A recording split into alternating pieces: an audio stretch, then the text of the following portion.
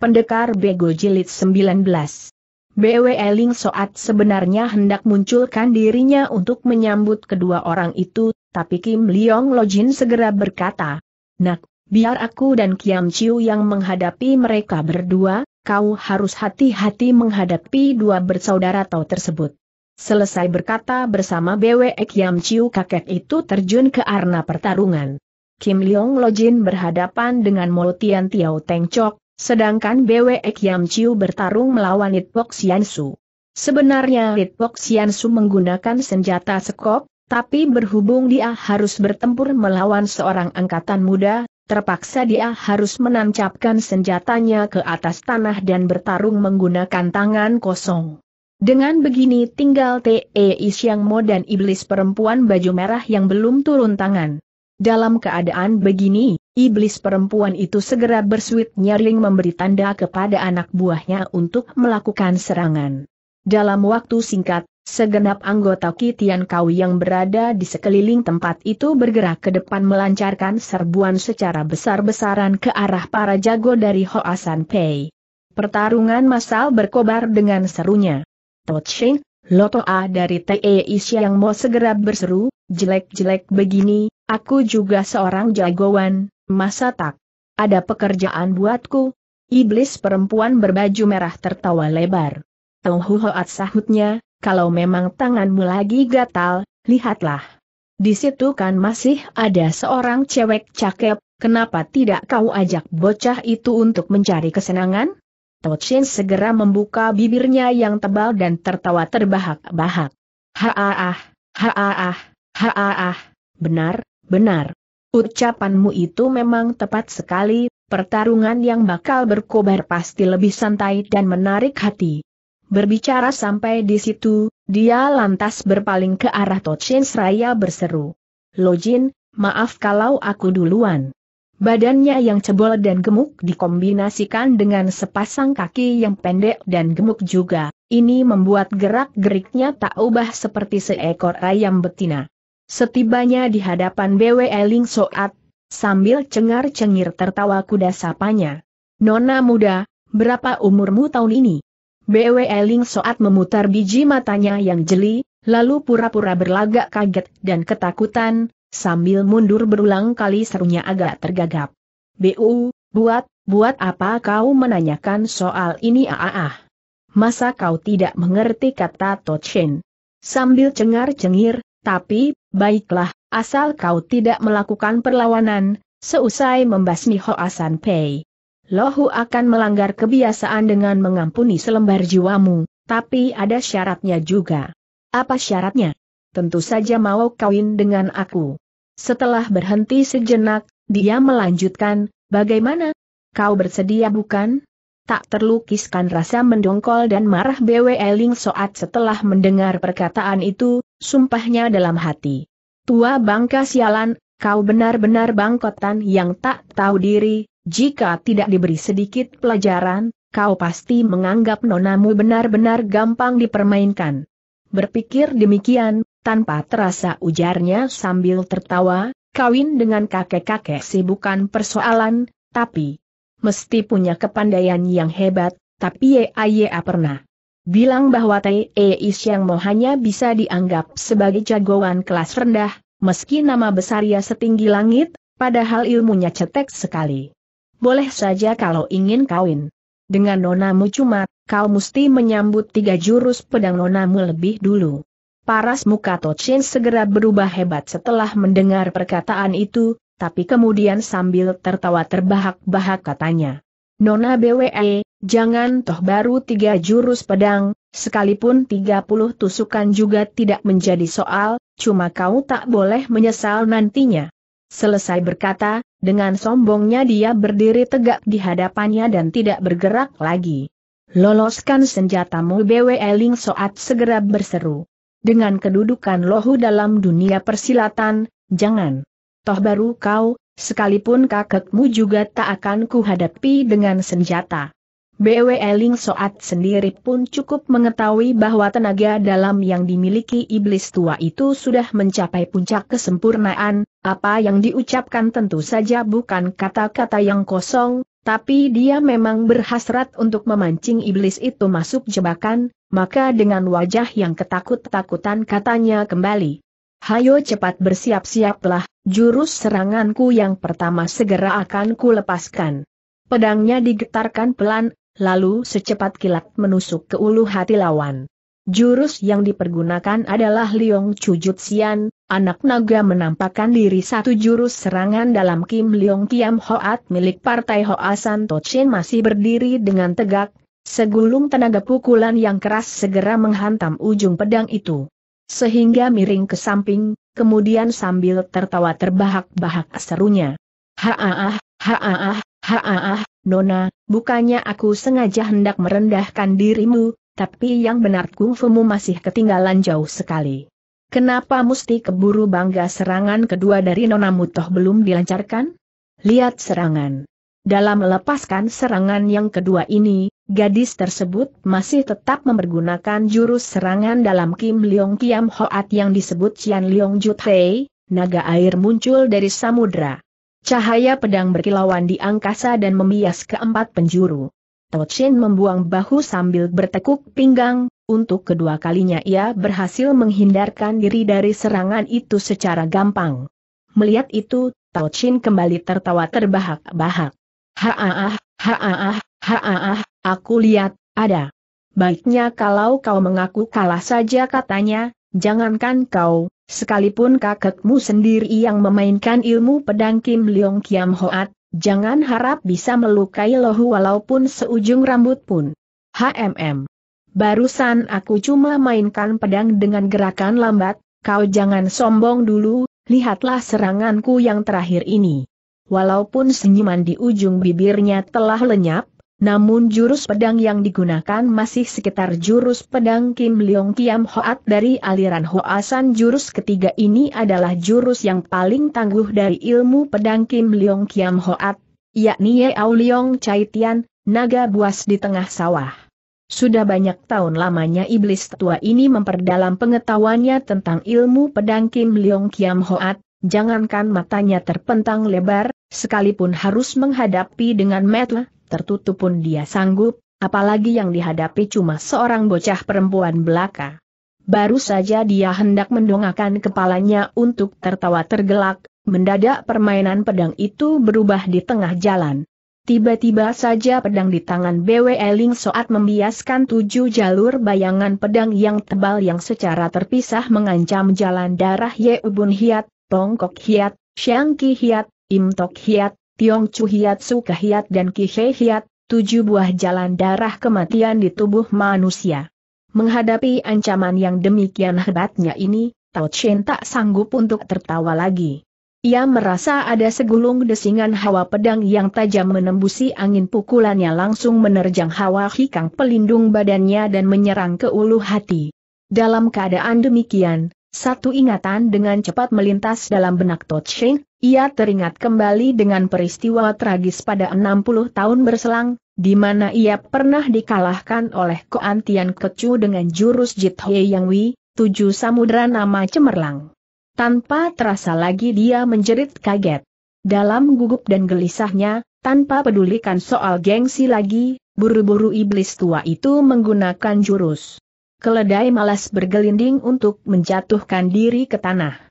Walaupun selembar jiwanya berhasil diselamatkan dari ancaman maut tersebut, namun sebuah mulut luka sebesar setengah jengkal sempat menghiasi pula dada di bawah iganya sehingga darah segar bercucuran membasahi sekujur badannya. Masih untung pada 60 tahun berselang ia pernah menderita kerugian pula di atas jurus serangan itu sehingga mempertingkat kewaspadaannya. Coba kalau Tocho yang menghadapi serangan tersebut, mungkin jiwanya sudah melayang sedari tadi. Paras muka Tochin berubah menjadi jelek dan tak sedap dilihat, tanpa banyak bicara ia segera meloloskan senjatanya. Senjata andalannya berbentuk aneh sekali bentuknya menyerupai pedang mestika, hanya saja di ujung pedangnya terdapat sebuah kaitan yang melengkung. Sudah puluhan tahun lamanya Tochin tak pernah pergunakan senjatanya lagi, tapi hari ini terpaksa ia gunakan juga senjata tersebut, ini menunjukkan kalau dia memandang serius kepandaian silat yang dimiliki gadis tersebut. Tocho masih belum tahu akan duduk persoalan yang sebenarnya, melihat Toakonya mengeluarkan senjata andalannya, dia menjadi tercengang dan memandang ke arahnya dengan pandangan kaget, tercengang dan tidak habis mengerti. Logi kita sudah salah melihat cepat Tochin berseru dengan wajah serius, kau tahu akan asal-usul dari ilmu silat yang dimiliki Ona ini? Jurus serangan yang barusan dia pakai tidak lain adalah jurus Jit Heavy yang yang pernah membuatku mendendam sepanjang tahun. Masa dia adalah anak murid Ko Tiao Kek dari Lem Hei tanya Toshio kurang percaya. Tentu saja. Kalau tidak begitu, dengan dasar apa Kim Leong Lojin membiarkan cucu perempuannya bertarung melawan kita berdua? Tanya jawab yang dilakukan T.E. Yang Mo secara terbuka ini tentu saja didengar oleh semua orang baik kawan maupun lawan. Para jago Hoasan P jelas girang sebaliknya para jago dari Tian Kau merasa tak puas dengan kenyataan tersebut. Setiap orang pernah mendengar bahwa ilmu pedang dari Lam Hei Kuan Tiao Kek merupakan suatu kepandaian hebat yang tiada taranya dalam dunia persilatan. Terutama sekali iblis perempuan berbaju merah Hoa Long Jin, gurunya sebelum meninggal dulu pernah berpesan. Jika di kemudian hari kau harus bersua dengan anak murid dari kuil Sian Guansi di puncak Bukit Paktian San, atau murid Koan Tiao Kek dari Lem Hei, lebih baik berhati-hatilah dalam setiap tindakan. Maka setelah mendengar kalau Bwe Ling Soat adalah murid dari Koan Tiao Kek di Lem Hei, timbul rasa was-was dan jeri dalam hati kecilnya, dia lantas berpikir, Sekalipun ilmu pedang nona ini berasal dari Koan Tiauke, namun kematangan serta pengalamannya dalam melakukan pertempuran masih cetek sekali, sekalipun dialihai rasanya tak mungkin kekuatan dia seorang bisa merubah posisi Hoa Pei yang terjepit hari ini. Berpikir demikian, dia lantas berkata kepada Te Siang Mo. Tau Hoat, dengan kepandaian silat yang dimiliki Ciampu berdua, Sekalipun Nona si Bwe ini murid Koan Tiauke, rasanya masih tidak sulit bagi kalian untuk menghadapinya, yang kita khawatirkan sekarang hanyalah kemungkinan munculnya Niko setan gurunya itu. Diperingatkan oleh iblis perempuan itu, Tao Chin dan Tochio segera menghimpun tenaga dalamnya untuk memeriksa keadaan di sekeliling tempat itu. Akhirnya sambil melotot ke belakang semak belukar di sisi Arna, Tao Chen menegur sambil tertawa seram. Jago lihai dari manakah yang telah muncul di situ? Kenapa tidak menampilkan dirimu? Mendengar teguran tersebut, diam-diam Bwe Ling Soat berpikir pula dalam hatinya. Jangan-jangan suhu merasa khawatir dan benar-benar telah menyusul kemari? Baru lewat ingatan tersebut dalam benaknya, tampak dedaunan bergoyang kencang dan muncullah seorang pemuda bertampang jelek dari balik semak itu. Dia bukan lain adalah pemuda jelek yang pernah dijumpai Bwe Ling Soat ketika berada di kota Tengwan.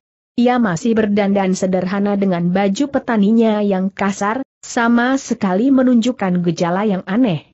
Melihat orang yang muncul cuma seorang pemuda ingusan, Tao Chen segera tertawa terkekeh-kekeh, kemudian tegurnya. Bocah muda, apa yang sedang kau lakukan di bawah semak belukar itu? Tidak melakukan apa-apa jawab pemuda jelek itu tergagap. Kau juga murid Hoasan Pei. Bukan, bukan jawab pemuda itu sambil menggoyangkan tangannya berulang kali, aku cuma seorang petani biasa yang kerjanya menanam di sawah, sebenarnya aku datang untuk mencuri belajar ilmu silat Loasan Pei siapa tahu jejakku keburu konangan kalian. Peduli siapakah kau pokoknya setelah hari ini kau hadir di sini, maka jangan harap bisa pergi lagi, hayo berdiri di sana dengan tenang dan jangan berkutik.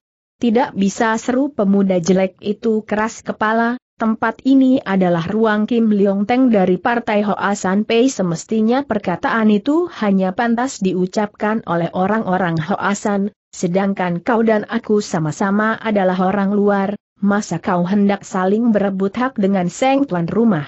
Tochin menjadi naik darah, serunya. Bangsat, jika kau ngotot terus, jangan salahkan kalau Lohu akan menjagal dirimu lebih dulu. Tampaknya pemuda jelek itu kena digertak sehingga merasa ketakutan setengah mati. Betul juga, dia lantas membungkam dalam seribu bahasa dan dengan kebodoh-bodohan dia saksikan pertarungan masal yang sedang berlangsung dengan serunya di tengah arna itu. TELWS yang mau saling bertukar pandangan sekejap, kemudian mereka segera tampil ke depan dan menghampiri BWE Ling Soat. Senjata yang digunakan si iblis pertama adalah sebuah gada besar, sedangkan si iblis kedua bersenjatakan sebuah ruyung lemas. Ruyung itu berwarna hitam pekat dengan kepanjangan tujuh jengkal, terbuat dari selembar kulit ular berwarna perak yang kuat sekali, senjata itu sangat lihai.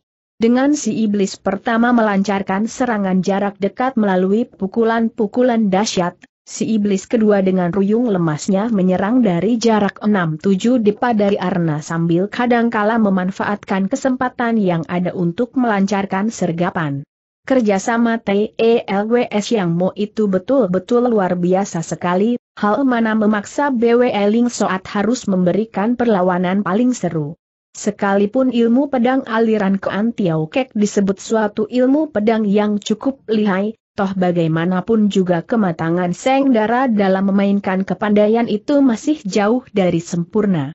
Yang lebih runyam lagi, Ternyata pada saat itulah Sukia mulai keteter hebat sekalipun pada mulanya mereka masih mampu untuk mempertahankan diri.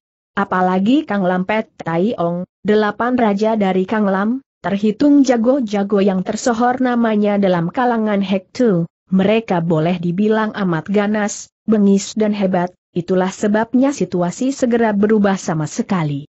Sebaliknya anak murid Partai Hoasan yang terlibat dalam suatu pertempuran massal melawan jago-jago dari golongan sesat masih bisa mengimbangi secara wajar, oleh karena jumlah mereka pun kebetulan sekali agak berimbang. Hanya BWE Kiam Chiu yang harus bertarung melawan Itpo Siansu keteter hebat, posisinya terdesak sekali dan jiwanya berada di ujung tanduk.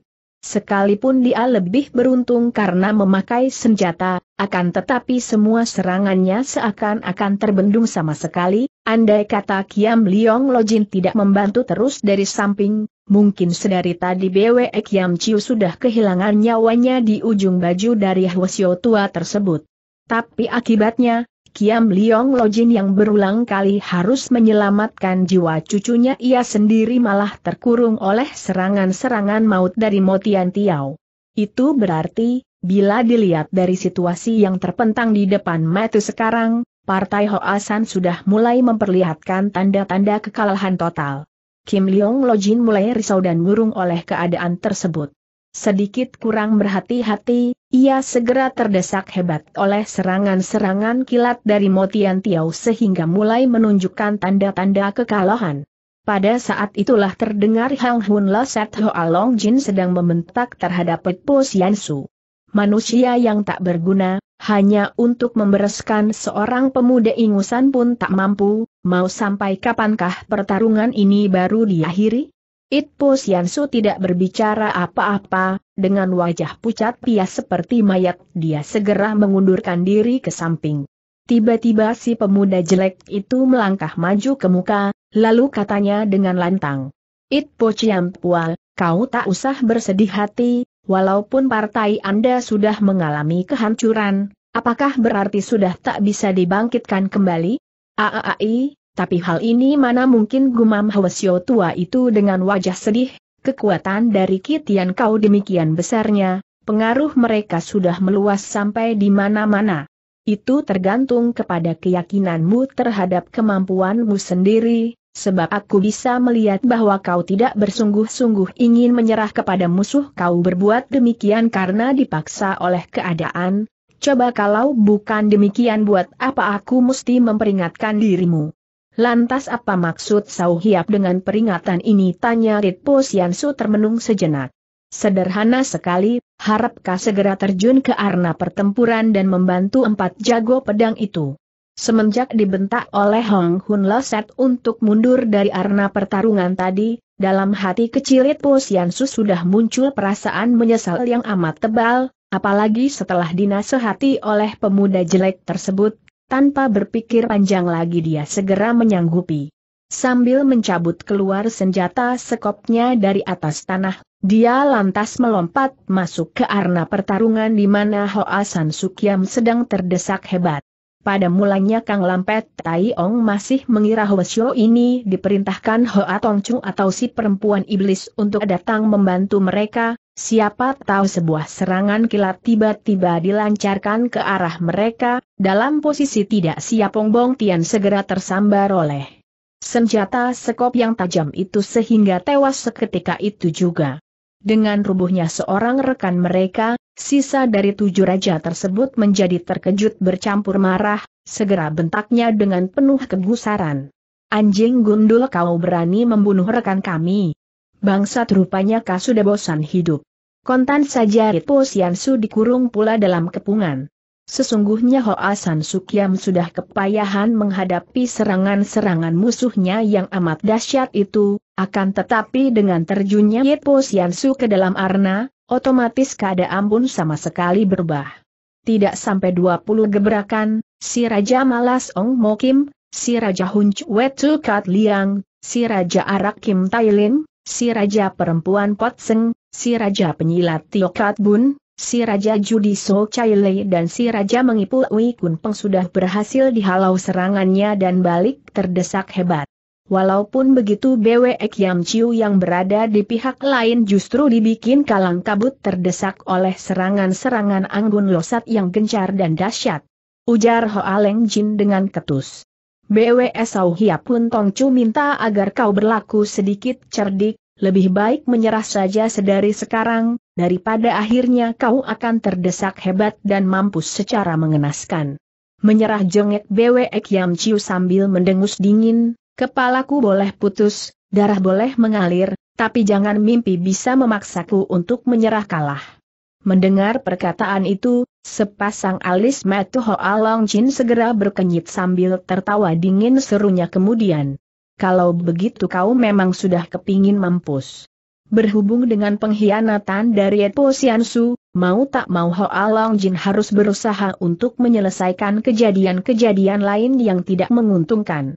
Tiba-tiba senjata gunting emas berbentuk ularnya memancarkan kilatan cahaya emas, bagaikan naga yang terbang di angkasa tahu-tahu senjata tersebut menyambar ke bawah dan menggunting ke atas pedang Bwe Yam Chiu serta mematahkannya menjadi beberapa bagian. Setelah itu sambil menempelkan senjatanya di atas ulu hati si anak muda itu, bentaknya kepada Kim Leong Lojin. Hei orang si BWE, cucumu sudah terjatuh ke tanganku, sekarang kau jawab saja, mau menyerah atau tidak? Segagah-gagahnya Kim Leong Lojin di medan laga, tapi setelah keadaan berubah menjadi begini rupa, terpaksa ia harus menarik diri dari pertarungan, sambil melompat mundur dari arena pertempuran, serunya. Hoa Tongcu, tegakah kau untuk turun tangan keji terhadap cucuku itu? Tak bisa kupastikan, ini tergantung pada keputusanmu sendiri, tapi bila kau masih menyayangi nyawa cucumu ini, lebih baik perintahkan kepada segenap anak murid partaimu untuk membuang senjata dan menyerah kalah. Kim Leong Lojin merasa amat gelusar sekali dengan sinar mata berapi-api serunya. Kalau ingin bunuh aku, bunuhlah sekarang juga, kalau kau ingin membunuh cucuku bunuhlah sekarang juga, aku orang Shibwe lebih rela kehilangan keturunan daripada harus bertekuk lutut di hadapan kalian semua. Dalam pada itu Bwe Ling Soat yang sangat menguatirkan keselamatan kakaknya juga berada dalam posisi yang amat gawat sekali di bawah desakan-desakan dari TELWS Yang Mo, dalam anggapannya Bwe Yam Chiu sudah pasti akan tewas. Siapa tahu pada saat itulah tahu-tahu si pemuda berwajah jelek itu sudah berada di belakang tubuh Hoa Long Jin, dengan suara keras dia lagi membentak. Hoa Tongcu menurut penglihatanku lebih baik ampuni saja selembar jiwanya. Ketika Hoa Long Jin hendak membalikan tubuhnya sambil menghindarkan diri, tahu-tahu jalan darah Pei Sim Hiat di punggungnya sudah ditekan orang, dia lantas sadar bila ia berani berkutik lagi secara gegabah maka asal lawannya menyalurkan tenaga pukulan ke dalam tubuhnya, niscaya dia akan tewas dalam keadaan mengerikan. pucat pias selembar wajahnya karena ngeri dengan perasaan apa boleh buat terpaksa dia harus menuruti permintaan orang. Setelah Hoa Long Jin menarik kembali senjatanya dari atas ulu hati, buru-buru Bwe Kiam Chiu melompat mundur ke belakang, segera ia mendongakkan kepalanya memandang ke arah penolongnya itu, dia baru kaget setelah mengenalinya pemuda berwajah jelek tersebut. Sekarang dia baru tahu kalau pemuda berwajah jelek itu sesungguhnya memiliki ilmu silat yang amat lihai, dengan perasaan berterima kasih dia lantas berseru.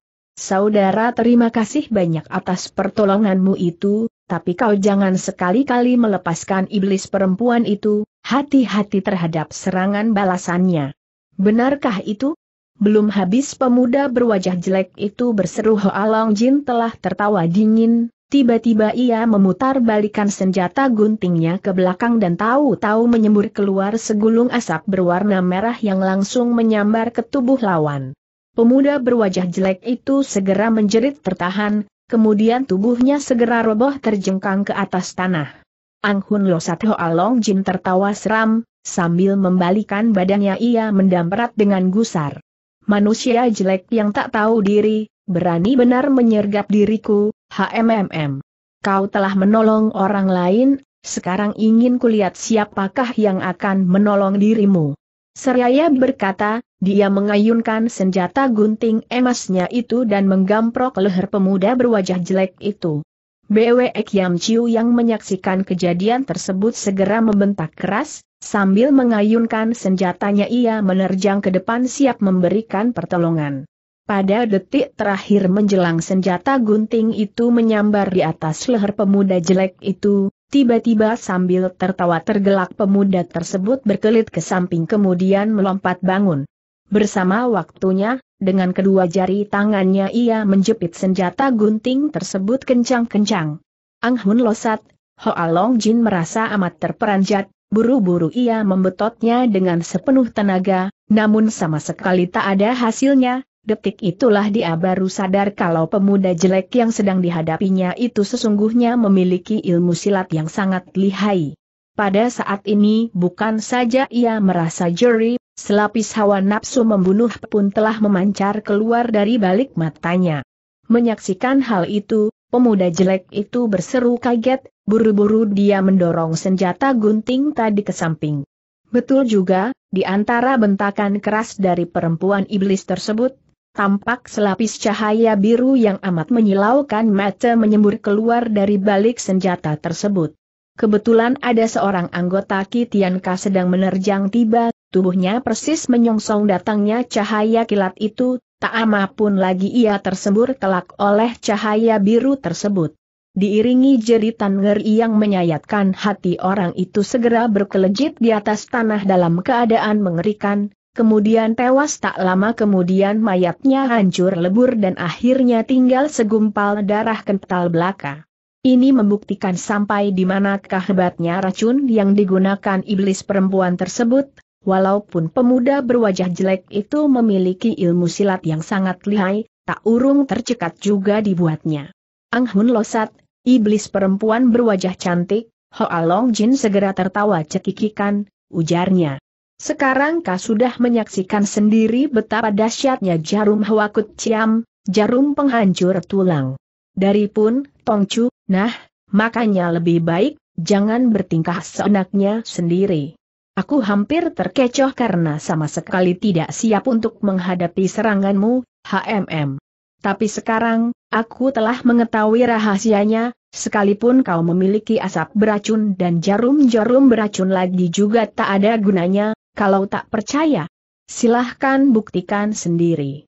Kalau toh kita sama-sama yakin dengan kemampuannya masing-masing pihak, lalu apa gunanya mesti banyak bicara? Asal kita lanjutkan saja pertarungan ini, toh akhirnya segala sesuatunya dapat terlihat sendiri secara jelas. Benarkah itu?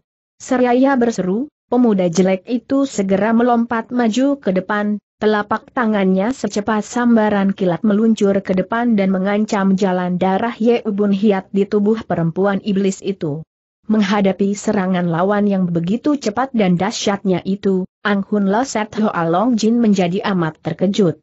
Pada mulanya dia masih mengira dirinya yang terlampau teledor sehingga kena didahului lawan tapi setelah menyaksikan sendiri betapa lihainya serangan lawan itu, ia baru sadar bahwa lawannya ini benar-benar memiliki ilmu silat yang sangat lihai.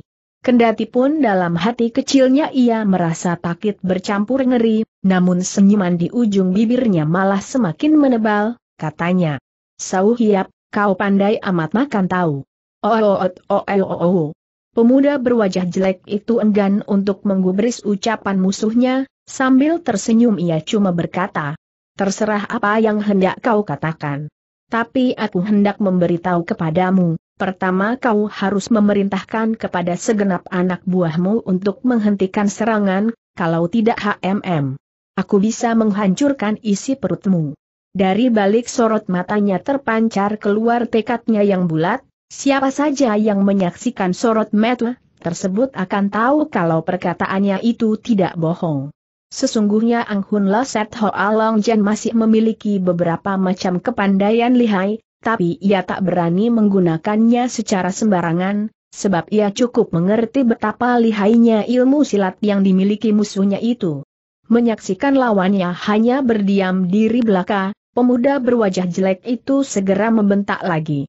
Sebenarnya kau mau tidak memerintahkan semua anak buahmu agar menghentikan serangan? Ang Hun Laset amat terkesiap, buru-buru sahutnya. Tak kusangka kalau hatimu sekeras baja baik, baik, sekarang juga akan kuperintahkan kepada mereka agar menghentikan serangan. Dengan suara lantang dia pun berseru. Segenap anggota Kitianka segera menghentikan semua pertarungan.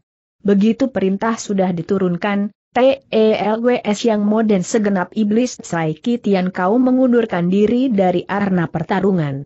Hoa Long Jin segera melirik sekejap ke arah pemuda jelek itu, kemudian katanya lagi.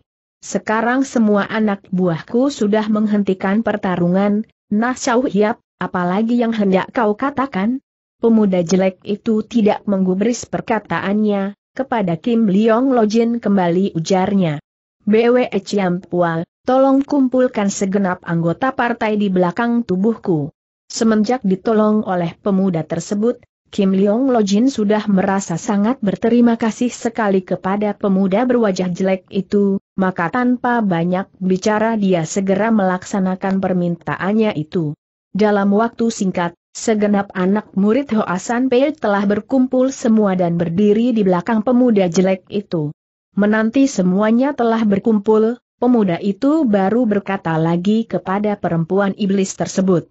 Aku harap kau segera menyerah kalah saja, ketahuilah di dalam pertarungan yang berlangsung hari ini perkumpulan kalian sudah pasti akan menderita kekalahan total. Ah ah ah, belum tentu, sekalipun kami belum mampu menangkan Hoa Sanpe bukan berarti kami akan kalah. TELWS yang mau ikut tertawa seram sambungnya, Heeh, heeh, heeh, bocah keparat, jangan kau anggap dengan mengandalkan sedikit ilmu langkahmu yang aneh itu maka kami semua akan jare kepadamu. Pemuda jelek itu mengangkat bahunya sambil tertawa, katanya. TELWS yang meski terhitung punya nama juga di kalangan Hektu tapi kalau berbicara soal ilmu silat yang sesungguhnya, aku mah masih belum memandang sebelah mata pun kepada kalian. Bajingan cilik kau tak usah tekebur, beranikah kau untuk berduel melawan Lohu tantang Tocen si iblis pertama dengan wajah merah karena marah. Jangan tekebur lebih dulu, barusan kau bisa menang karena mengandalkan jumlah banyak. Coba kalau sendirian, huh, sudah kau sedari tadi. Untuk menghadap murid Koan Tiao Kek dari Lem He yang lihai dalam ilmu pedang, terpaksa saja kami harus maju berduaan, tapi kau Huh bajingan cilik apa yang kau andalkan? Pemuda jelek itu tertawa dingin. Ilmu pedang Kean Tiao Kek memang sangat lihai dan tiada tandingannya di kolong langit, aku merasa tak sanggup untuk menandinginya tapi kalau hanya menghadapi manusia-manusia semacam kalian berdua, HMM, cukup manusia kelas 2 seperti aku pun sudah mampu untuk memberi pelajaran yang setimpal kepadamu. Selama hidup belum pernah Tochin menjumpai orang yang sama sekali tidak memandang sebelah mata, terhadap mereka macam pemuda jelek itu, Kontan saja dia naik pitam, bentaknya. Bocah keparat hayo cepat menggelinding keluar dari situ, Lohu akan menghajar adat lebih dulu kepada manusia tekebur semacam dirimu itu. Pemuda jelek itu segera menggelengkan kepalanya berulang kali, katanya. Kalau mesti maju sendirian, sudah terangkap bukan tandinganku, apalagi sekalipun harus bertarung juga sama sekali tidak menarik, lebih baik suruh saja Tauco adikmu itu untuk maju bersama. Baru saja Tochin hendak menampik Ang Hun Losat telah menimbrung dari samping. Tau Hoat, mungkin orang itu benar-benar bermaksud tidak baik kenapa mesti mengalah terus. Mendengar kisikan tersebut, Tau Chu segera maju ke muka dan bersama-sama Tochin menuju ke tengah harna, serunya bersama. Bajingan cilik, sekarang apalagi yang hendak kau katakan? Pemuda jelek itu tersenyum, kepada BW Eling Soat katanya. Nona, bolehkah aku meminjam sebentar pedang mesti kamu itu? Pedang mestika milik BW Eling Soat ini adalah sebilah pedang mestika dari Koan Tiao Kek yang sudah diwariskan turun-temurun, pada gagang pedangnya terdapat sebutir batu mestika dengan ukiran huruf Cim. Setelah menerima pedang mestika tersebut, pelan-pelan pemuda berwajah jelek itu maju ke tengah harna, agaknya dia benar-benar tidak memandang sebelah mata pun terhadap kemampuan TELWS yang mau tersebut. Setelah tiba lebih kurang tujuh jengkal dari hadapan sepasang iblis tersebut, katanya sambil tersenyum. Apalagi yang kalian berdua nantikan? TELWS yang mau segera tertawa seram, di tengah bentakan yang keras si iblis pertama Tochin dengan memutar gadanya menciptakan selapis cahaya perak menyerang dari arah sebelah kiri, sedangkan iblis kedua Taichu dengan memutar ruyung lemasnya menyergap datang dari sebelah kanan. Ketika bertarung melawan BW Eleng Soat tadi mereka masih belum mengeluarkan segenap kemampuannya karena masih terdapat perasaan sayangnya terhadap gadis itu. Tentu saja keadaannya pada saat ini sama sekali berbeda pertama karena pemuda itu berwajah jelek dan mendatangkan perasaan muak bagi yang memandang, kedua ucapannya yang tajam telah menyinggung perasaan mereka berdua yang menimbulkan rasa marah di hati kecil kedua orang iblis itu. Maka begitu melancarkan serangan, mereka segera mengeluarkan ilmu Tui Hun Jitsi, tujuh jurus pengejar nyawa, yang diandalkannya selama ini untuk menggencet lawan. Menyaksikan dahsyatnya serangan-serangan itu baik Kim Leong Lojin maupun para jago dari Hoa San Pei sama-sama merasa terkejut dengan wajah berubah hebat. Bahkan BW Ling Soat itu murid dari Koan Tiao Kek yang lihai pun ikut mengerutkan dahinya setelah menyaksikan betapa gencarnya serangan-serangan yang dilancarkan dua orang iblis tersebut pikirnya. Tadi, seandainya kedua orang iblis tua ini pun menggunakan Tui Hun Jitsi untuk menghadapi diriku, mungkin pada saat ini kami semua sudah sama-sama terluka parah. Berpikir sampai di situ tanpa terasa timbul perasaan khawatirnya terhadap keselamatan pemuda jelek itu. Sudah barang tentu rasa khawatirnya itu sama sekali tak berguna, mengapa tidak? Dengan kepandaian silat yang dimiliki si pemuda jelek tersebut sesungguhnya ia masih lebih dari cukup untuk menghadapi dua orang iblis tua tersebut. Bagaikan seekor naga sakti tubuhnya berjumpalitan ke sana kemari mengiringi sambaran pedangnya yang membetot sukma rasanya. Seret, seret, seret. Secara beruntun dia melancarkan tiga buah serangan berantai yang memaksa TELWS yang mau terdesak mundur berulang kali. Agaknya Ang Hun Loset Hoa Long Jen juga menyadari akan kelihayan pemuda jelek tersebut, dia khawatir anak buahnya terluka di tangan lawan, maka buru-buru ia mengambil keputusan untuk memerintahkan kedua orang iblis tersebut agar segera mengundurkan diri. Iblis kedua Taichu merasa sangat tidak puas dengan keputusan tersebut, serunya. Hoa Tongchu, kami toh belum kalah. Tidak, kalian sesungguhnya sudah kalah tukas Ang Hun Loset dengan cepat, dengan pengalaman kalian berdua yang amat luas, Masakah masih belum kalian saksikan bahwa tiga jurus serangan yang dipergunakan pemuda jelek itu adalah jurus Hut Kong Bu Chiao, cahaya Buddha memancar ke jagat, Hoat Lu Siang Choan, hukum alam selalu berputar, serta Hut Hoat Bu Pian, hukum Buddha tak bertepian, Dari ilmu pedang Tai Chian Kiam Hoat milik Ling Mong Seng Cheng dari kuil Sian Si. Coba lihat, alis mata kalian sudah dipapas bersih oleh pedangnya. Setelah diperingatkan oleh iblis perempuan tersebut, TELWS yang mau baru merasa amat terperanjat, apalagi setelah tahu bahwa alis mati mereka sudah dicukur gundul, tanpa terasa peluh dingin mengucur keluar membasahi tubuhnya. Hari ini, Bukan saja mereka telah bertemu dengan murid sakti dari Lam Hei Koan Tiauke, bahkan telah berjumpa pula dengan ahli waris Ling Mong Seng Cheng dari kuil Sian Si, sekalipun kedua orang iblis tersebut bernyali besar, toh mereka tak berani banyak bercuat lagi dalam keadaan demikian.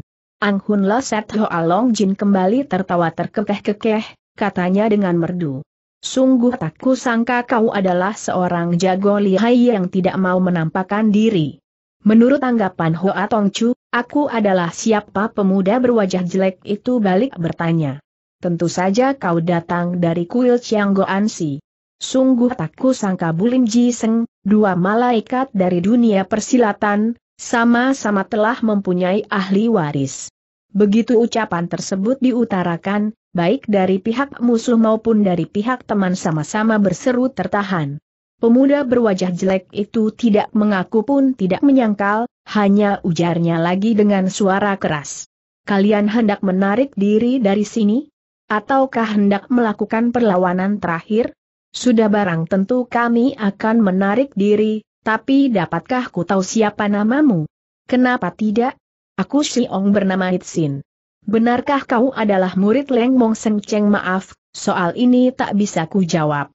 Padahal sekalipun tidak kau katakan juga tidak mengapa, masa di kolong langit masih terdapat ilmu pedang Sakiata Ichian Kiam Hoat kedua? Baiklah, selama gunung nan hijau, air tetap mengalir, semoga saja dalam waktu singkat kita dapat bersua kembali. Seusai berkata, bersama-sama anak buahnya segera mengundurkan diri dari situ. Tiba-tiba Santian Gin Leong, naga perak halilintar, Li Kiliat berseru lantang. Wahai Raja Judi harap berhenti. Mendengar teriakan tersebut, si Raja Judi So Chaile segera berhenti tegurnya. Mau apa kau? Apakah si Raja Judi yang tersohor namanya di seantero jagat sudah tak mampu untuk membayar kekalahannya?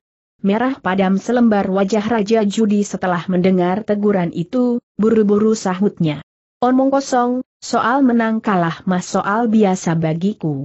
Kalau memang begitu, silahkan kau menuruti janjimu tadi untuk merangkak turun dari Hoasan Desak Li lihat lebih jauh. Logit, jangan melakukan perbuatan boor si Raja Penjilat Pantat segera menasehati, hayo cepat berangkat, siapa berani menghalangimu, kita bersaudara akan beradu jiwa dengannya. Tapi si Raja Judi segera menggelengkan kepalanya berulang kali. Tidak, siapa berani bertaruh dia harus berani pula membayar taruhannya lako, lebih baik kau berangkat lebih duluan jangan mengurusi diriku lagi. Dengan perasaan apa boleh buat terpaksa Raja Penjilat Pantat melarikan diri dari situ. Raja Judi So Chai Lei juga tidak berbicara apa-apa lagi, dia segera berjongkok dan merangkak keluar dari tempat itu. Sekalipun sedang merangkak, ternyata gerakan tubuhnya cukup cepat, dalam waktu singkat bayangan tubuhnya sudah lenyap dari pandangan. Sekalipun gerak-geriknya amat lucu, tapi tak seorang pun dari anggota Hoa San Pei yang tertawa karena geli. Sut Lui Gin Kiam, pedang perak geledek menyambar, Tio Beng Hao segera menegur. Losu, buat apa kau harus mempermalui dirinya? Dilihat dari penampilan si Raja Judi tadi, sesungguhnya dia bukan seorang yang jahat dalam tubuh orang-orang Hetu, ternyata bisa dijumpai manusia semacam dia, sesungguhnya hal ini sulit sekali, bila di kemudian hari maka Kim saat kita bersua kembali dengan mereka lebih baik pergaulah dengan baik-baik siapa tahu kalau kita bisa membereskan masalah ini secara baik-baik. Ucapan Toako pasti akan siau teturuti buru-buru Li lihat mengiyakan dengan cepat. Dengan perginya orang-orang Kitian kaum maka Kim Liong Lojin segera menitahkan anak muridnya agar mengubur mayat-mayat yang penuh bergelimpangan di sana.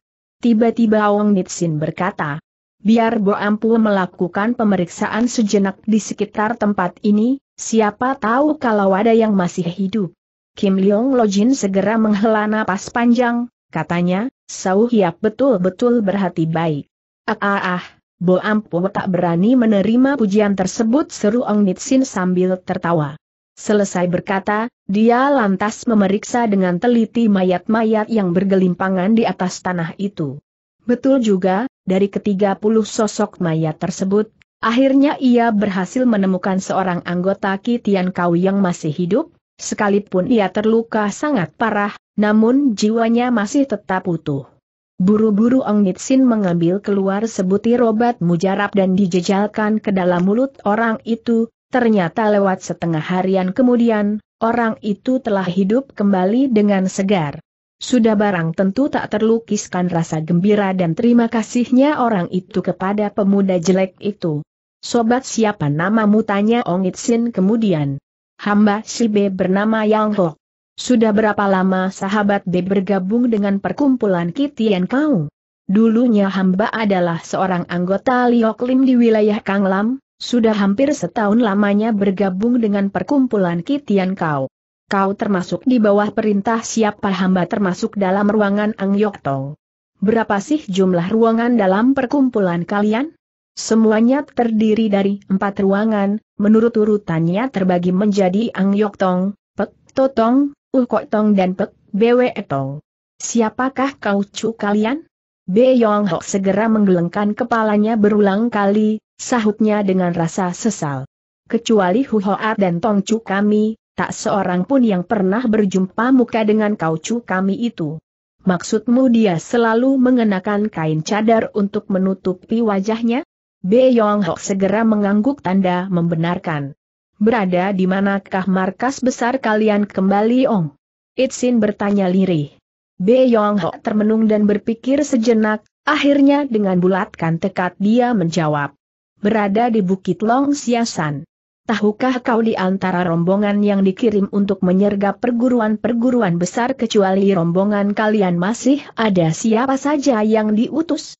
Kau cu kami telah menitahkan Pek Totong Cu yakni Pek Tok Biokui, Mawar Putih Beracun, Hang Tong Chu dengan membawa Chiong Le Susia serta lima orang Tiang Lo dari Kekpo ditambah Se Siu Jin Mo serta Tei E Leng Kun untuk berangkat ke Bukit Kunlun. Sudah berapa lamakah mereka berangkat? Tanya Ong Nitsin dengan wajah terkejut. Kami berangkat pada saat yang bersamaan ketika kami berangkat untuk menyerang Hong Tong dan Heng San Pei. Mereka telah berangkat ke Bukit Imsan. Pek Tok Bijui tersebut benar-benar berhati keji, Im San Pei telah mereka basmi sampai ludas entah bagaimana dengan nasib Kunlun Pei. Bergumam sampai di situ dia lantas berkata lagi. Dalam perjalanan pulangnya nanti, tahukah kau mereka masih akan berkunjung ke partai mana lagi? Soal ini maaf kalau hamba kurang tahu. Sahabat B, setelah kau sembuh nanti, ku mohon kepadamu agar mencari pekerjaan yang baik, janganlah berbuat kejahatan lagi, percayalah cepat atau lambat perkumpulan kitian kau pasti akan musnah dari permukaan bumi, sampai waktunya sarang mereka pun pasti akan rata dengan permukaan tanah. Terima kasih banyak atas nasihat dari Sauhiap, hamba pasti akan menjadi seorang manusia yang berguna bagi masyarakat. Ketika Ong Nitsin keluar dari ruangan tersebut, dilihatnya Bwe Ek Yam Chiu dan Bwe Ling Soat sedang menunggu kedatangannya di depan pintu. Rupanya Kim Leong Lojin untuk merayakan kemenangan yang berhasil mereka capai. Mengikuti di belakang dua bersaudara Bwe Ong Nitsin berjalan menuju ke ruang tengah tampak olehnya Kim Leong Lojin serta Gin Leong Sukyam telah menantinya di bawah undak-undakan. Sambil menarik tangan Ong Nitsin, kata Kim Leong Lojin kemudian sambil tertawa. Coba tiada bantuan dari Lote, mungkin partai kami benar-benar sudah hancur di tangan kaum iblis tersebut, budi kebaikan Lote tak akan kami lupakan untuk selamanya. Sebagai tanda terima kasih kami, harap Lote bersedia meneguk secawan arak. Ciampu buat apa kau mesti bersikap demikian, bukankah tindakanmu ini justru memandang asing diriku? Walaupun demikian, dalam perjamuan tersebut akhirnya pemuda itu diloloh sampai mabuk berat. Kim Leong Lojin segera menitahkan kepada BWE Kiam Chiu dan BWE Leng Soat untuk memayang Ongit Sin ke dalam kamar untuk beristirahat. Menyaksikan bayangan punggung pemuda itu diam-diam jago tua ini menghela napas panjang, pikirnya. Berbicara soal kebajikan, kemuliaan dan ilmu silat, Ong Sau Hiap ini memiliki kelebihan dari siapa pun juga, sayang wajahnya terlampau jelek. Coba kalau tidak, Leng Soat pasti merupakan pasangan yang cocok baginya, aaai, benar-benar sayang sekali. Keesokan harinya setelah sadar dari mabuknya Ong Nitsin pun mohon diri kepada Kim Leong Lojin. Mendengar itu, Kim Leong Lojin segera bertanya, Ong Sau Hiap, di manakah tempat tinggalmu dengan wajah sedih Hong Nitsin menjawab. Ibu Bo Ampu sudah lama meninggal, sedang ayahku tewas dibunuh orang, saat ini aku hidup sebatang kera, tanpa sanak tanpa keluarga dan tanpa rumah. Mendengar jawaban tersebut, Kim Leong Lojin ikut merasa bersedih hati, selang sejenak kemudian dia baru bertanya lagi. Siapakah ayahmu? Bolehkah aku turut mengetahui namanya?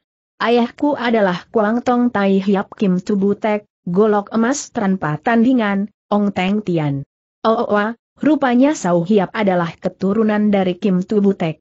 Lohu pernah beberapa kali berjumpa dengannya, ia memang seorang lelaki gagah dan berjiwa terbuka, malah merupakan sahabat karib anakku, konon pada sepuluh tahun berselang ia telah tewas di tangan lima orang gembong iblis yang sangat lihai dari golongan Hektu hanya lantaran rahasia sebuah kotak kemala. Benar, kotak itu menyangkut tentang sebilah padang Housiku Kiam, sarung naga Cian Lian Liong Xiao serta sejilid kitab Seng Yang Kiam Hoat yang maha dahsyat. Setelah berhenti sejenak, terusnya. Apakah Ciampu pernah mendengar gembong-gembong iblis yang mana saja yang tersangkut di dalam peristiwa berdarah itu? Lohu jarang sekali berkelana dalam dunia persilatan, mungkin San Shok Tong lebih jelas tentang masalah ini.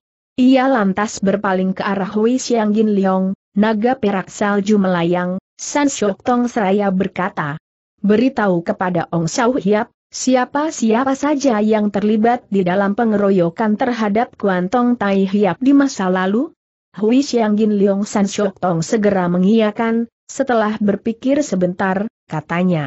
Menurut apa yang ku ketahui, mereka adalah Hek Kong, kelabang hitam, Bejini Mau Tiang Bilau Yau, siluman tua beralis panjang, Tian Simhon, Xiang Pitlohon, raksasa berlengan baja, Yap Kiu, Kim San Sia Kiam, kipas emas pedang sesat, Tiopin serta Iktiang Lo lima orang.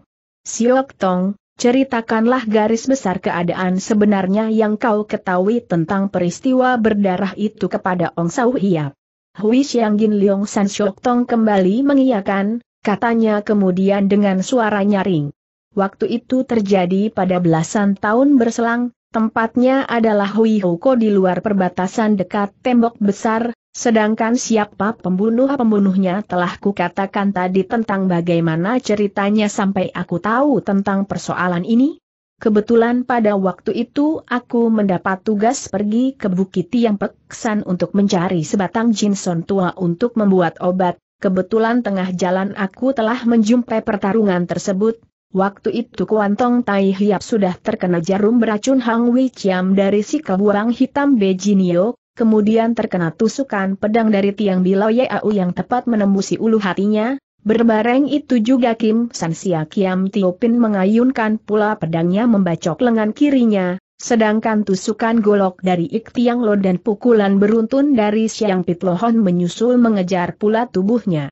Selain itu aku pun menjumpai Ho Asian Chuliok Lui dari Tiong Lempei sedang lari menghampiri Ong Tai Hiap sambil berteriak-teriak, sungguh menyesal sekali pada waktu itu aku tak bisa berbuat apa-apa berhubung aku harus cepat pulang ke gunung untuk menolong jiwa ayahku, jadi sesungguhnya bukan aku enggan memberi pertolongan.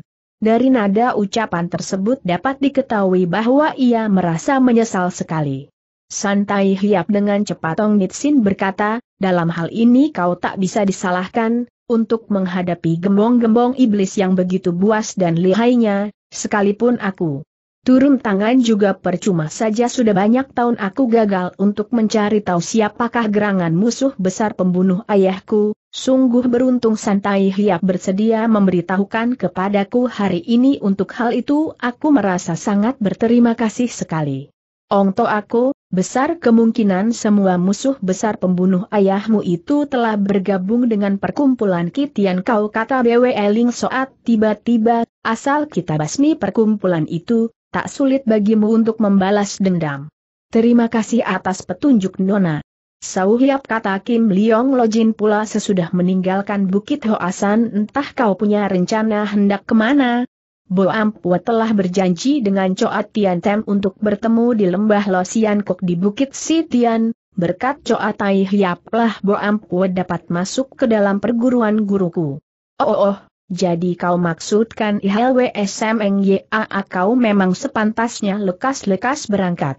Dari mimik wajah kakek itu rupanya Ong Nitsin dapat menangkap sesuatu yang tak beres buru-buru ia bertanya. Sesungguhnya apa yang telah terjadi? Menurut kabar yang tersiar dalam dunia persilatan, katanya Shok Tong itu Liong, naga sakti dari wilayah Zhechuan, Ciulong serta Yali Kiam, pedang gadis suci, Pong Xiaowan telah dibantai oleh perkumpulan Kitian Ka secara keji lembah Losian Kot pun sudah mengalami tragedi. Begitu mengetahui kalau Chow Tai Hiap bersaudara mengalami ancaman bahaya, Ong Nitsin segera bangkit berdiri untuk mohon diri. Sekalipun gelisah juga tak perlu terburu-buru kata Kim Leong Lojin kemudian ketahuilah lembah Losian Kok adalah sebuah tempat yang bermedan amat bahaya, susah rasanya bagi sembarang orang untuk membobolkan pertahanan di sini, aku pikir sampai kini lembah tersebut belum berhasil mereka hancurkan bila kau ke sana tak ada salahnya untuk mengajak serta Leng Soat, dia juga seorang jago tangguh, pertama bisa membantumu kedua dia pun harus banyak berlatih dalam dunia persilatan tentu saja bila Ong Sau Hiap tidak merasa keberatan. Sesungguhnya Ong Nitsin ingin menampik maksud baik orang tapi ia pun tak tega menghilangkan kegembiraan Bwe Ling Soat yang pada saat itu sudah berseri-seri terpaksa permohonan orang pun dikabulkan. Selain mempersiapkan bekal untuk kedua orang itu secara khusus Kim Leong Lojin menghadiahkan pula sebilah pedang mestika untuk si anak muda itu. Pedang mestika tersebut adalah sebilah senjata mestika dari partai Hoasan yang dinamakan Kim Leong Kiam. Dari pedang mestika inilah Kim Leong Lojin mendapat julukannya yang sekarang ini. Sudah barang tentu Ong Nitsin menampik pemberian yang sangat berharga itu. Tapi dengan cepat Kim Leong Lojin berkata, Dewasa ini orang-orang Kitianka sudah membuat keonaran di seluruh dunia persilatan gembong-gembong iblis yang kenamaan dari golongan Hektu pun telah bergabung dengan mereka, aku rasa cuma murid-murid dari dua. Malaikat saja yang sanggup menghadapi mereka. Aku tahu bahwa Sauhiap berilmu tinggi, tapi ada baiknya kalau kau membawa serta sebilah pedang sebagai persiapan, Siapa tahu bila suatu ketika kau akan berhadapan langsung dengan kaucu mereka? Bila musti melayani dengan tangan kosong, toh akhirnya yang rugi adalah kau sendiri? Setelah didesak berulang kali, akhirnya Ong Itsin menerima juga pemberian tersebut tapi katanya. Orang kuno bilang, ingin menjadi orang yang simpatik janganlah menampik kebaikan orang, baiklah pedang ini akan Bo Ampu terima untuk digunakan, tapi bila suatu ketika Bo Ampu berhasil mendapat senjata yang lain, pedang ini akan kukembalikan lagi. Rupanya Kim Leong Lojin tahu bahwa kehendak pemuda tersebut tak bisa ditentang, terpaksa dia pun menyanggupi. Sebelum berangkat kakek itu kembali memperingatkan. Dalam perjalanan menuju ke lembah Losian kok nanti. Bila urusan di situ telah selesai lebih baik Ong Sau Hiap. Sekalian mampir ke Bukit Tiongsan, Sebab menurut dugaan Lohu, besar kemungkinan Kitian kau juga menaruh maksud jelek terhadap Xiao Lim Pei. Ong Itsin segera mengiyakan. Tengah hari itu juga, ia bersama Bwe Ling Soat dengan menunggang kuda jempolan segera berangkat menuju ke arah kota Keihong. Sekalipun dandanan Ong Nitsin pada saat ini amat perlente dan berpotongan seorang sastrawan, namun wajahnya tetap jelek seperti babi, sudah barang tentu dengan tampang sejelek itu mendampingi seorang gadis yang cantik bak bidadari dari kahyangan tersebut mendatangkan suatu pemandangan yang sangat menyolok. Tak heran kalau sepanjang perjalanan mereka menjadi bahan cerita orang banyak. Ada yang berkata begini. Wah, kalau gadis secantik itu mesti mendampingi pemuda sejelek babi, keadaan itu ibaratnya sekuntum bunga yang ditancapkan di atas tahi kerbau. Ada pula yang mengomel. Maknya, sialan maka seekor burung hang dipersunting seekor babi budukan. Ada yang merasa sayang, ada pula yang merasa mendongkol dan merasa tak enak. Padahal berbicara yang sesungguhnya apa sangkut pautnya urusan ini dengan mereka? Mau cantik kek atau buruk kek, apa pula urusannya dengan mereka? Untung saja BW Eleng Soat sama sekali tidak mempedulikan kejelekan Ong Toakonya ini. Selama belasan hari perjalanan bukan saja hubungannya dengan Ong Toako bertambah akrab dan terbuka, bahkan ia merasakan betapa jujurnya pemuda itu, kecuali wajahnya yang memang jelek, boleh dibilang pengetahuannya sangat luas pengalamannya cukup lumayan. Tanpa terasa gadis itu pun berpikir. Perkataan suhu memang benar, yang dikatakan bagus bukan dinilai dari wajah seseorang melainkan dari ketulusan hatinya, Perkataan ini sungguh tepat sekali dengan kenyataan. Begitulah hari itu mereka berdua menyeberangi sungai Tiang Keng dan tiba di Karsidenan Lengkok Sian. Mereka pun menginap di rumah penginapan Itpeng dengan mengambil kamar nomor 7 dan 9. Ketika BW Eling Soat keluar rumah untuk membeli barang, Ong Itsin merasa kesepian maka dia pun berjalan-jalan di dalam serambi. Pada saat itulah dari balik ruangan di sebelah barat terdapat dua pasang mata yang sedang mengintip gerak-gerik pemuda itu dari balik kegelapan. Terdengar salah seorang di antaranya berkata, Sintong Cu coba kau lihat. Bangsat itu tampangnya jelek tapi justru memiliki rekan seperjalanan yang cantik jelita bak bidadari dari kahyangan, coba kau bilang lucu atau tidak? Yang berbicara adalah seorang perempuan cantik yang menggembol sepasang golok di punggungnya, sayang hawa hitam menyelimuti di antara alis matanya, dia adalah seorang anggota baru dari Kitian Kau bernama Chiok Bok Ao, walet merah bermata indah, Ciao Hang Hang. Xiao Hang Hang berasal dari seorang pelacur yang beroperasi di sekitar wilayah Kanglam, entah berapa banyak perbuatan terkutuk yang telah ia lakukan selama ini. Di sampingnya adalah Ui Shok Tong Chu yang bernama Hang Liu Kuabu, janda cabul, Sin Kim Chiu. Adapun kedatangan mereka berdua ke Karsidenan Lengkok adalah untuk melakukan inspeksi perjalanan ke kantor-kantor cabang mereka di daerah, secara tak terduga mereka telah menemukan jejak Ongit Sin dan BW Ling Soat dalam rumah penginapan tersebut. Terdengar Sin Kim Chiu berkata kepada Chiao Hang Hang, bila menilai orang dari wajahnya, maka akan hilang nilainya, apalagi dia toh bukan berwajah demikian yang sebenarnya. Benarkah itu tanya Chiao Hang Hang keheranan, bila ia benar-benar cuma mengenakan topeng kulit manusia, dilihat dari potongan badannya yang gagah perkasa, dapat dipastikan dia adalah seorang lelaki tampan, hayo kita segera bekuk dirinya. Jangan bertindak gegabah seru janda cabul Sin Kim Chiu tidak setuju, Coba kau lihat pedang Kim Leong Kiam yang digembol pemuda itu, sudah pasti dia adalah seorang jago muda dari Hoasan Pei. Kita tak boleh bertindak gegabah. Ah ah ah, apalah artinya seorang murid Hoasan seru Chiao Hang Hang penasaran, sekalipun ia sudah mewarisi segenap kepandaian dari Kim Leong Lojin, masa kita tak mampu untuk merobohkannya? Bukan begitu maksudku, aku rasa kurang baik buat kita untuk turun tangan di tengah keramaian kota. Lantas bagaimana menurut maksud Chu? Sin Kim Chiu segera membisikkan sesuatu ke sisi telinganya, mendengar itu Chiao Hang Hang mengangguk tiada hentinya. Yaa, memang ini merupakan suatu rencana yang bagus sekali. Oh oh oh oh, oh. Dalam pada itu Ong Nitsin masih berjalan-jalan di Serambi sambil menghitung masih berapa lamakah baru akan tiba di Bukit Tian Hoksan bagian barat. Tiba-tiba, terdengar suara rintihan tertahan berkumandang dari arah depan sana, Kemudian tampaklah seorang nyonya berbaju hitam yang memakai sekuntum bunga putih di sanggulnya roboh tak sadarkan diri lebih kurang tujuh jengkal di hadapannya. Entah lantaran terserang penyakit aneh ataukah karena kesedihan yang kelewat batas, yang pasti perempuan itu sudah roboh terkulai di atas tanah. Ong Itsin memang seorang pemuda yang berhati mulia, sudah barang tentu dia tak akan berpeluk tangan belaka, apalagi pada waktu itu di sepanjang serambi tidak nampak orang lain. Ong Itsin segera memburu ke depan, membungkukan badan dan memeriksa nyonya muda yang pingsan tersebut, dilihatnya ia roboh dengan mata, terpejam rapat, denyutan jantungnya amat lirih dan wajah pucat. Dengan cepat pemuda itu memeriksa dengusan napasnya. Oh, apa yang terjadi? Pemuda itu merasakan gawatnya keadaan nyonya itu, bila tidak segera diberi pertolongan, niscaya jiwanya akan melayang.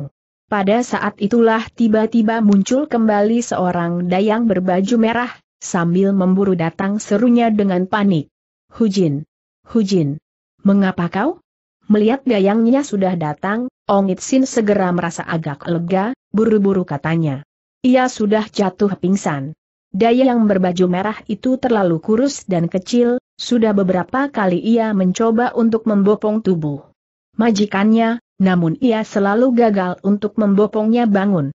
Melihat itu, Ong Nitsin lantas berkata, biar aku yang membopongkan. Dirangkulnya tengkuk nyonya itu dan tangan yang lain memeluk sepasang pahanya, kemudian membopongnya bangun. Kalian tinggal di kamar nomor berapa tanyanya. Ciok Bok Cian Ciao Hang Hang yang menyaru sebagai dayang itu segera menuding ke depan seraya menjawab. Dalam ruang sebelah barat.